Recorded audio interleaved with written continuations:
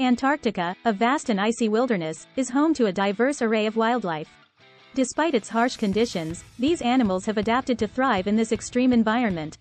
First up, we have the regal emperor penguins, the largest of all penguin species. These incredible birds endure brutal Antarctic winters, marching in large groups to their breeding grounds. Fun fact. Did you know that they can dive to depths of over 500 meters in search of food? Now, let's dive beneath the icy surface to meet the Weddell seals. These expert divers are well adapted to the freezing waters, using the holes in the ice to access their underwater hunting grounds. These seals are truly masters of the Antarctic seas. Our next stop brings us to the charismatic Adelie penguins. Known for their tuxedo-like appearance, these small but feisty birds are excellent swimmers and agile climbers. Watch as these comical creatures waddle across the rocky terrain, showcasing their amusing antics. Adelie penguins are true entertainers of the Antarctic.